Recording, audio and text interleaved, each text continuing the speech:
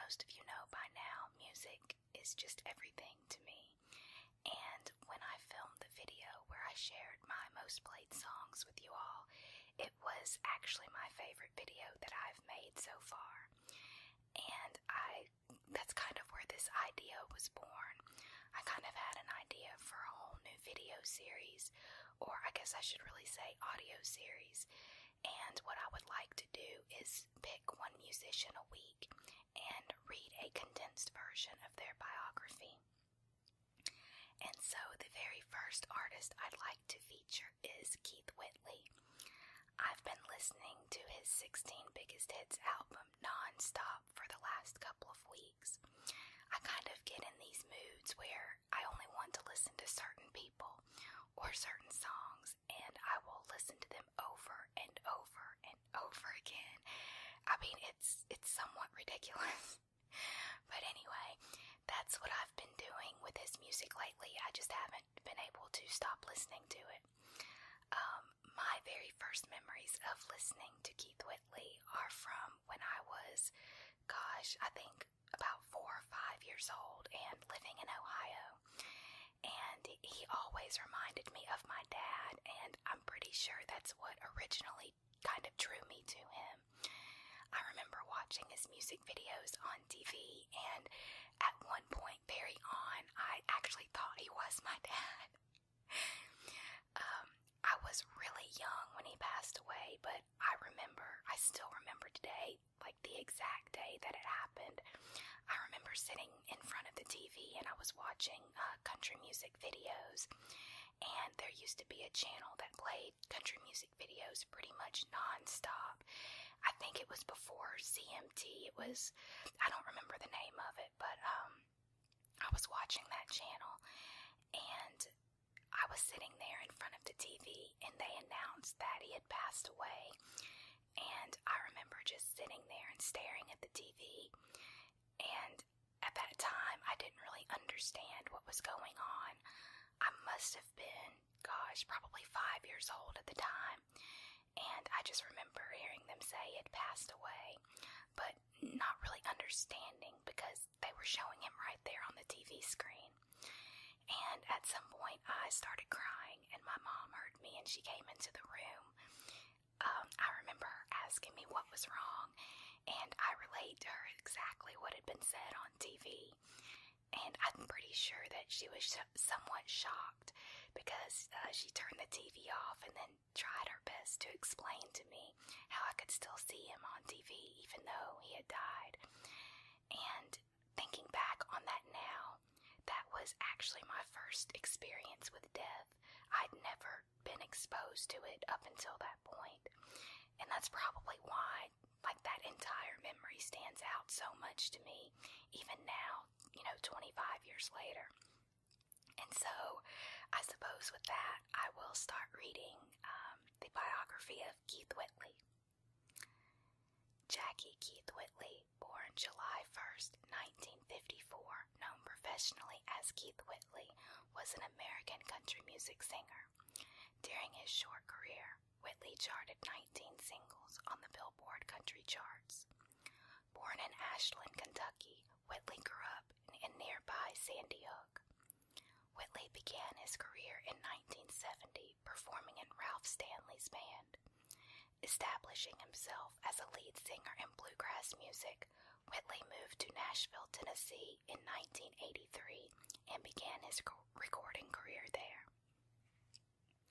His first top 20 country hit single, Miami, Miami, was released in 1986. While touring for his album, LA to Miami, he married country singer Lorrie Morgan. In 1988, his first three singles from his studio album, Don't Close Your Eyes, the title song, When You Say Nothing at All, and I'm No Stranger to the Rain, were number one hits. Several years of alcoholism severely deteriorated his health, and he died in 1989 at the age of 34. His later two singles, I Wonder Do You Think of Me and It Ain't Nothing," were released after his death. Whitley continues to influence an entire generation of singers and songwriters. Okay, so that was just kind of an overview, and now I'm going to, I guess, go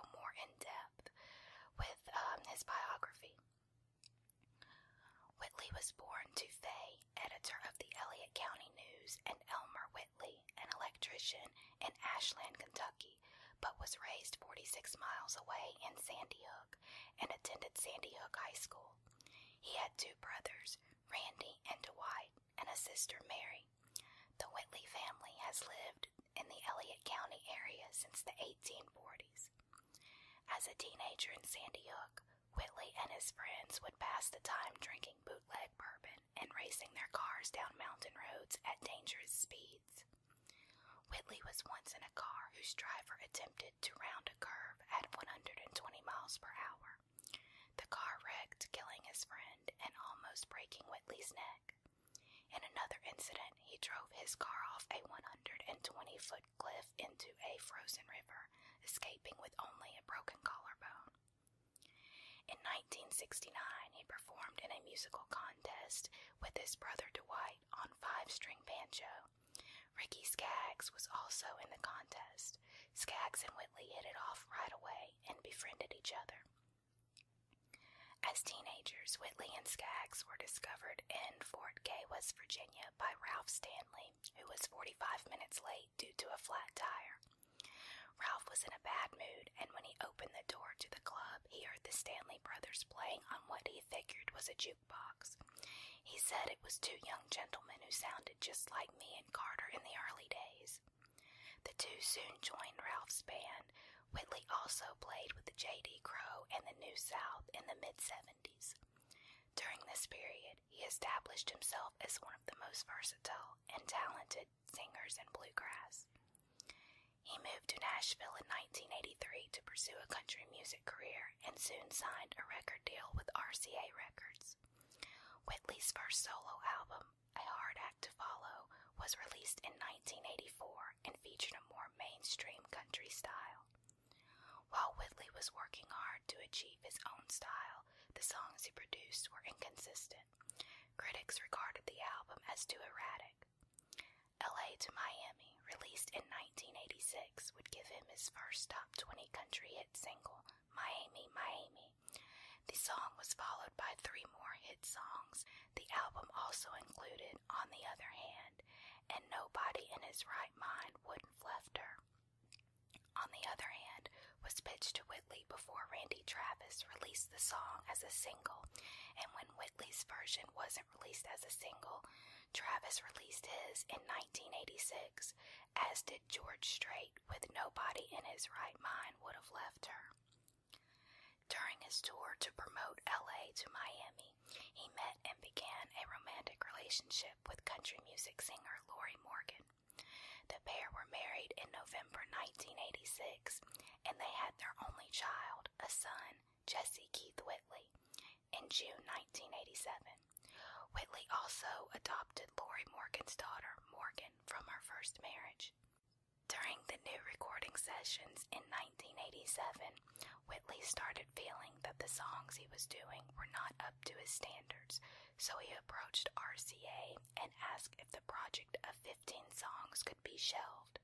He asked if he could assert himself more with the songs and in production. The new album, titled Don't Close Your Eyes, was released in 1988, and the album sold extremely well. The album contained one of the many songs that Whitley had ha- had a hand in writing in his years at Tree Publishing. It's all coming back to me now. Also on the album was a remake of I Never Go Round Mirrors, and the song became a huge hit at Whitley's concerts. The first three singles from the album, When You Say Nothing at All, I'm No Stranger to the Rain, and the title cut all reached number one on Billboard magazine's country charts during the fall of 1988 and the winter of 1989, with the title track Don't Close Your Eyes being ranked as Billboard's number one country song of 1988. Shortly thereafter, I'm No Stranger to the Rain also earned Whitley his first and only Country Music Association award as a solo artist. In early 1989, Whitley approached Sony Music Nashville chairman with the intention of releasing I Never Go Around Mirrors as a single. it was suggested that Whitley record something new and more upbeat. The result was a song Whitley had optioned for his previous album called I Wonder Do You Think of Me and was to result in his next album release. Whitley was a longtime alcoholic who started drinking early in his career at bluegrass gigs long before he was legally allowed to drink alcohol. Many times he had tried to overcome his alcoholism but failed, and his pre existing depression made it more challenging for him to quit. Whitley preferred to drink alone, making it difficult for anyone to detect that he had a problem. According to Lorrie Morgan, she tried to conceal all alcoholic beverages from him at the home they shared. Whitley lost both his father Elmer in 1987 and his brother Randy in an October 1983 motorcycle accident five years before his own death. On the morning of May 9, 1989, after a weekend of drinking and partying, Whitley awoke and spoke with his mother briefly on the phone. He was then visited by his brother in law, Lane Palmer, and the two had coffee and were planning a day of golf and lunch, after which Whitley had planned to start writing songs for Lorrie Morgan and himself to record when she returned from her concert tour. Palmer departed at approximately 8:30 a.m informing Whitley to be ready to leave within an hour. Upon returning, Palmer found Whitley face down on his bed, fully clothed. The official cause of death was determined to be alcohol poisoning. Whitley was just 34 years old. The day after his death, Music Row was lined with black ribbons in memory of Whitley. He is buried in the Spring Hill Cemetery outside of Nashville, Tennessee. It has long been speculated that Whitley's death may not have been directly caused by his recklessness or alcoholism, but that he may have been a victim of premeditated misconduct. In 1989, forensic pathologist and then chief medical examiner stood trial for several cases of forensic fraud which led to the misdiagnosis of several deceased patients and possibly the conviction of innocent people under suspicion of murder. Subsequently, the man who originally laid claim that Whitley's death was solely by alcohol poisoning has been relieved of his license to practice pathology. Despite Whitley's death, his influence on country music has persisted long after his death. At the time of his death, he had just finished working on his fourth and final studio album, I Wonder Do You Think of Me? The album was released three months after his death on August 1st, 1989. The album produced two more number one hits with the title track and It Ain't Nothing. I'm Over You also saw in the top five in early 1990, reaching number three. Two new songs were added to Greatest Hits. The first, Tell Lorrie I Love Her, was written and recorded at home by Whitley for Morgan, originally intended as a work tape for Whitley's friend Curtis Mr. Harmony Young to sing at Whitley's wedding. Was Till a Tear Becomes a Rose, a 1987 demo taken from Tree that originally featured harmony vocals by childhood friend Ricky Skaggs. Lorrie Morgan, with creative control and license to Whitley's namesake, recorded her voice alongside Whitley's and released it as a single, which rose to number 13 and won them 1990's CMA Award for Best Vocal Collaboration. RCA also released a compilation of performance clips, interviews, and some previously unreleased material under the title Kentucky Bluebird. The album produced hits for Whitley as well, including a duet with Earl Thomas Conley named Brotherly Love, which peaked at number two in late 1991. In 1994, Whitley's widow, Lorrie Morgan, organized several of Whitley's friends in bluegrass and some of the big names in country music at the time to record a tribute album to Whitley. The album, Keith Whitley, a tribute album, was released in September 1994 via BNA. It included covers of Whitley songs from artists such as Alan Jackson, Diamond Rio, and Ricky Skaggs. The album also included four previously unreleased tracks recorded by Whitley in 1987, one of which had Morgan dubbed in as a duet partner. The album also included two original songs, Little Boy Lost, co written and sung by Daron Norwood, and A Voice Still Rings True, a multi artist song. Alison Krauss's rendition of When You Say Nothing at All was released as a single from the album, on the country charts in 1995. In 1995, the album Wherever You Are Tonight was released, produced by Lorrie Morgan, featuring restored demos of 1986 through 1988 with crisper 1990s recording techniques and a full orchestra. The album and single of the same name both did very well on the Billboard and R&R charts and brought super hits and The Essential Keith Whitley in 1996.